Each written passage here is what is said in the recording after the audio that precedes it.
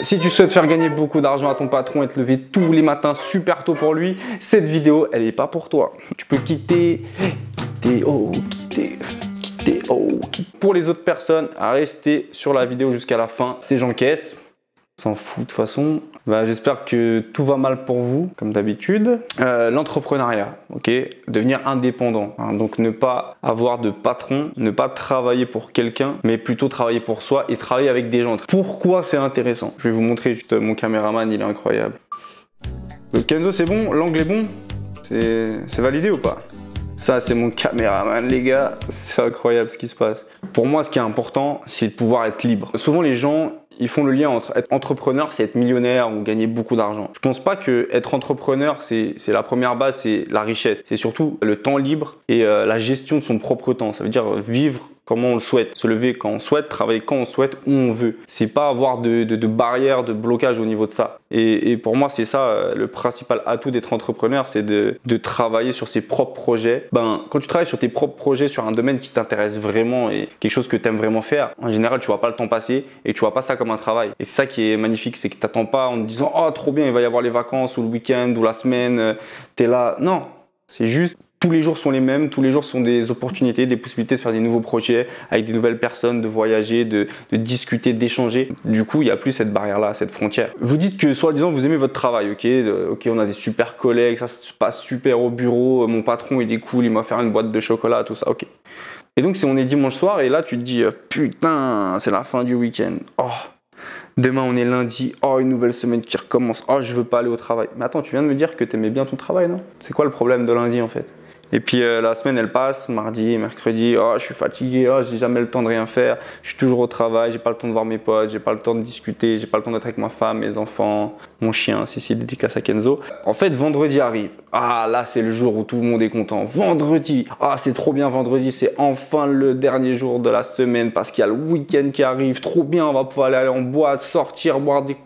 Non mais c'est éclaté, votre week-end il est nul à chier, c'est pour décompresser de votre semaine qui était trop dure et nul à chier, et du coup vous me dites encore que vous aimez votre travail, mais vous attendez que le week-end pour ne plus en avoir. Ben, euh, un truc qui joue pas pour moi. Pour moi, si tu aimes ton travail, si tu aimes ce que tu fais réellement, il n'y a pas d'être content pour être en week-end, c'est une continuité, il n'y a pas de jour précis pour faire quelque chose quand tu aimes vraiment ton travail. Donc déjà pour moi la base de l'entrepreneur c'est qu'il peut choisir ce qu'il fait, les projets euh, sur lesquels il travaille et les horaires sur lesquels il bosse, euh, sa façon de faire, euh, où il le fait, quand il veut le faire. Donc ça c'est vraiment le point le plus important avant même de parler de ouais un, entre- un entrepreneur c'est un mec riche ou c'est un mec qui gagne beaucoup d'argent parce que ça veut rien dire. Il y en a des qui sont en galère, il y en a des qui cartonnent, il y en a des qui sont en galère et qui vont cartonner, il y en a des qui ont cartonné et qui sont en galère, ça veut rien dire. hein. On est beaucoup de personnes à savoir ce qu'il faut faire. La théorie, on la connaît. Moi, ce que je pense le plus important et le plus euh, utile, ce qui m'a vraiment fait gagner du temps de manière générale, c'est pas les personnes qui me disent OK, il faut faire ça, il faut faire ça, la grande théorie. C'est plutôt les personnes qui me disent qu'il faut pas faire et les erreurs qu'ils ont fait. C'est de parler avec les gens de leurs erreurs et qui m'expliquent les points où euh, ils ont raté et pourquoi. Je trouve ça beaucoup plus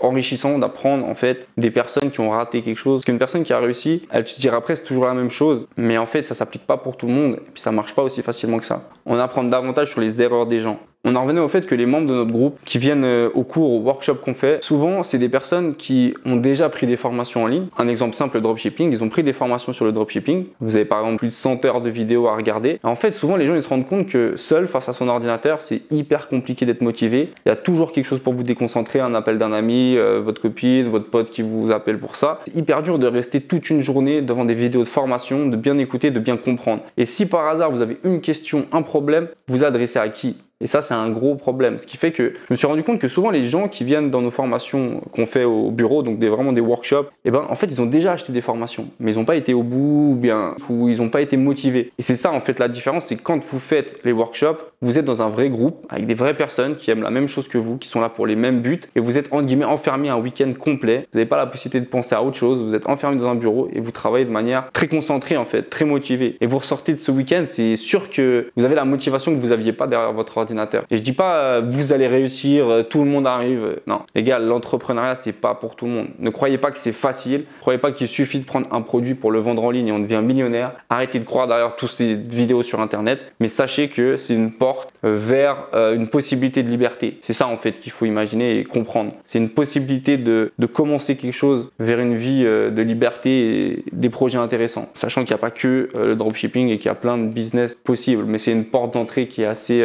efficace, je pense. Souvent, euh, vous avez des projets, vous dites Ah, c'est une super bonne idée, et vous commencez à en parler à vos proches, à vos amis, à votre copine, et puis les gens, souvent, ils sont assez sceptiques parce que peut-être c'est nouveau, peut-être ça n'a jamais été fait, et c'est un peu toujours le même rapport. Ouais, mais tu penses que ça va marcher, moi je pense que c'est pas une bonne idée, etc. Puis au final, vous commencez à avoir des avis négatifs, et en fait, la question n'est pas de savoir si la personne avait raison, que ça allait marcher ou pas. C'est juste que si vous le faites pas, ben peut-être dans 5 ans, peut-être dans un an, peut-être la semaine prochaine, vous allez vous dire, mais putain, imagine ça aurait marché. Imagine je l'aurais fait. Et en fait, vous allez vivre avec un sentiment de regret le reste de vos jours. Et ça, il n'y a pas pire. Croyez-moi. De toute façon, faites-la. Et si ça ne marche pas, vous apprendrez de vos erreurs, vous serez plus fort, vous comprendrez des choses que vous n'aviez pas compris si vous n'aviez pas fait la chose. Et là, c'est beaucoup plus puissant. Quand vous avez une idée, allez-y toujours au bout. Bon, bien sûr, il y a des idées, faites attention, c'est pas toujours les bonnes. Prenez du temps pour euh, réfléchir, mais réfléchissez vous-même. Ne demandez pas forcément l'avis de trop de personnes parce que ça vous empêche de foncer et au final, vous faites pas grand-chose. Mon caméraman, il dort là.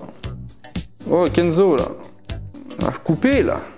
depuis que je suis petit, ça m'a toujours passionné le fait de faire des projets, échanger avec des gens, faire des business, de la créativité, voyager aussi évidemment. Moi, j'aimais pas me lever le matin. Quand j'allais en cours, c'était horrible, j'avais l'impression d'être là pour rien et que ça allait me servir à rien. Effectivement, mon diplôme, malheureusement, il m'a servi à rien. Je l'ai jamais montré. J'ai un master à la haute école d'art dans le côté multimédia. Je l'ai jamais montré à quelqu'un. C'est ce qui m'a fait prendre conscience et qui m'a réveillé en fait. Je me suis dit, mais en fait, c'est de la connerie tout ça. Je me suis dit, euh, c'est le moment de prendre les choses en main et de choisir ta vie en fait, de pas écouter les gens. Parce que de toute façon, pour les gens, c'est pas un chemin qui est possible, c'est pas quelque chose de réel. C'est tu peux pas gagner ta vie autrement que par un travail, euh, tu vois, euh, cadré avec un patron, se lever le matin pour une personne. Ça, ça, ces gens-là, ils peuvent pas comprendre. Faut même pas parler avec eux en fait. Et ouais, l'avantage c'est que si un jour t'as pas envie de bosser, eh ben tu bosses pas. Si t'as envie de prendre du temps pour toi, pour réfléchir, pour faire du sport, pour voyager, pour voir une personne qui t'est chère, tu peux le faire. Tu dois pas aller demander à ton patron, j'aimerais poser un jour de congé. Non, non non, tu parles avec personne. Ça, ça c'est hyper puissant en fait, de, se sentir libre, d'avoir, c'est un pouvoir en fait. Quand tu l'as goûté à ça, tu peux pas dire bon bah finalement je vais trouver un travail et je vais accepter les ordres d'un patron, je vais devoir lui demander quand je veux respirer, prendre un jour de congé, tu vois. Ça c'est pas possible, c'est inimaginable. Enlevez-vous ça de la tête. Notez bien que ça va pas être facile, que c'est pas fait pour tout le monde. Il faut s'accrocher les gars. C'est pas la première semaine ça marche pas, ouais bon bah laisse tomber. Il y a des gens ils galèrent pendant 10 ans hein, avant d'avoir un projet qui cartonne. Mais sur ces 10 ans, ils ont eu tellement d'expérience, de moments de vie forts et de choses à raconter que ça vaut euh, plus que l'argent en fait qu'ils auraient pu gagner. Et de toute façon, l'argent elle vient un jour ou l'autre si vous faites bien votre travail. Ça c'est avec votre passion, etc. Avec les gens que vous allez rencontrer, un jour ou l'autre ça va tomber. Ah, réveillez-vous, arrêtez de dormir, arrêtez de vous faire endormir, réveillez-vous. L'avantage du business en ligne, que ce soit du dropshipping, de l'e-commerce, prendre un produit, créer une marque, vendre des services, vendre du coaching, vendre euh, des connaissances, un savoir, ben en fait l'avantage de le vendre en ligne, c'est que vous n'avez pas besoin d'une physique. Vous pouvez le faire avec un simple ordinateur ou un téléphone portable partout dans le monde. Et ça, pour moi, il n'y a pas de prix à, cette possibilité de business. Donc quand les gens te disent ouais, mais le dropshipping c'est mort ou c'est bientôt mort, en fait, on s'en fout parce que on trouvera toujours des alternatives aux façons de faire d'aujourd'hui. D'apprendre à vendre en ligne, comme je disais, que ce soit un produit d'AliExpress, votre marque, vos services, vos prestations, vos connaissances. Du moment que tu sais vendre un produit en ligne, déjà tu peux vendre pour tes produits et travailler sur tes marques, tes concepts, mais tu peux aussi après l'utiliser pour euh, vendre le produit d'un ami à toi ou aider un ami à toi. Tu peux aussi vendre tes services après aux gens en fait. Tu peux aller voir une entreprise et leur dire voilà, bah, moi je suis capable de vendre vos produits mieux que vous le faites, de gérer vos réseaux sociaux, de gérer votre communauté, etc. Et en fait, c'est ça, c'est qu'il n'y a pas de limite et il n'y a pas de frontières. Tu n'es pas obligé de travailler pour un mec qui habite dans ta ville. Tu peux travailler euh, pour un mec qui est à l'autre bout du monde ou tu peux travailler avec un mec qui est à l'autre bout du monde. Il n'y a pas de limite en fait. C'est fatigant hein, parce que vous êtes plein de doutes tous les jours, vous doutez, il y a des remises en question à faire, mais c'est tellement plus jouissif quand ça marche et c'est tellement plus, vous êtes tellement plus fier de vous quand ça marche. Vous n'allez pas me dire que le vendredi vous êtes hyper fier de vous quand vous êtes dans votre boîte euh, avec votre patron parce qu'il vous a dit que voilà, cette année on a fait un peu plus de chiffre d'affaires. Super. Cool. Tu vois, c'est pas la même chose que, imagine là, ton produit, ton service, ton, ton projet, il, arrive à bout, il fonctionne, tu vois des ventes, tu vois de l'argent tomber, tu es beaucoup plus fier de toi, c'est toi qui l'as créé, c'est toi qui l'as fait, même si tu es avec un groupe d'amis, un groupe de personnes, c'est dix fois plus gratifiant en fait. Et ouais, le fait de pouvoir voyager, les gars, ça c'est sans demander la permission, aux heures que l'on veut et tout ça, c'est génial. Euh, par rapport à ça, dans la région, je sais qu'on est peu à faire ce genre de business et à être, euh, on va dire, euh, entrepreneur ou indépendant. Et moi, ce qui me fait plaisir, c'est de rencontrer des gens en fait qui ont les mêmes motivations, les mêmes passions que moi. Bah du coup, à travers ces vidéos aussi que je fais et mon contenu, le groupe Telegram d'ailleurs, c'est un groupe que j'ai fait qui est gratuit, qui vous offre des conseils, des astuces, de la motivation, des messages tous les jours. Donc n'hésitez pas à le rejoindre. ça me fait plaisir de rencontrer des gens qui sont motivés par les mêmes choses que moi. Et donc manifestez-vous. Créons une communauté de gens indépendants, entrepreneurs qui sont pas dans le système, qui sortent des codes habituels. Rencontrons-nous, faisons des échanges, des événements, euh, des vacances. Euh, je parlais d'un sorte de club de vacances pour entrepreneurs. Ce serait un délire de ouf de pouvoir échanger, faire des restos de temps en temps, euh,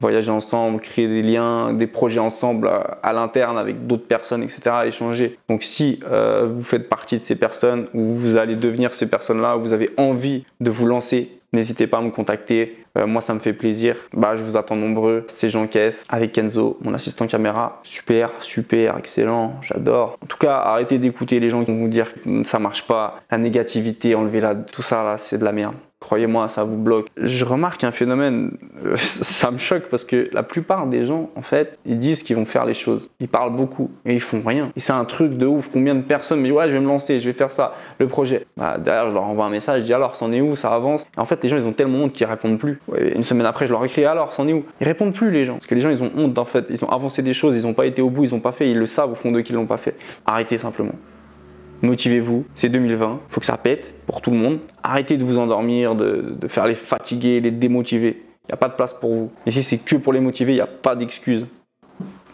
Et merci bien la zone.